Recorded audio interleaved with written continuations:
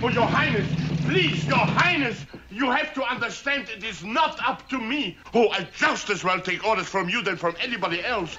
I love to take orders, but my orders are for you not to depart. You are giving orders to me? Oh, Your Highness, please. I have the highest respect for royalty.